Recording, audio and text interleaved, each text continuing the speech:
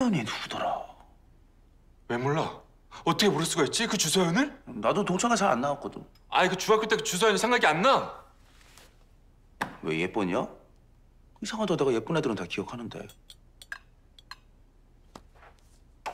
자, 아이고야 무슨 그림까지 그려. 응?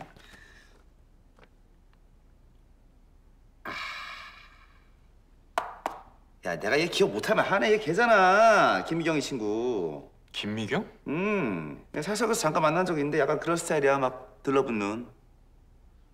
자료 좀 만들어봐. 너 얘 좋아하냐? 이런 얼굴이 네 스타일이었어? 이겠냐?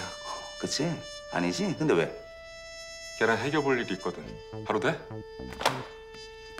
5분 안에 해결된다.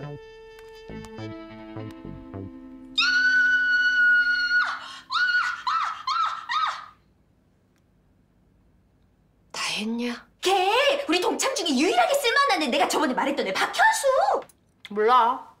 암튼 걔가 연락이 왔는데 지금 보재 좋겠네. 너도 같이 뭐? 친구랑 나오래 그게 뭔 소리겠냐 다른 남자도 나온다는 거지 아, 그럼 더 싫어. 그냥 지켜만 봐주라 나 딴애 데리고 가.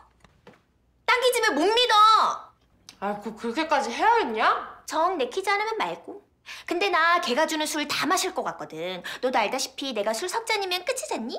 걔가 나 어디로 데려가도 난 아무것도 모르고 그대로 따라가겠지?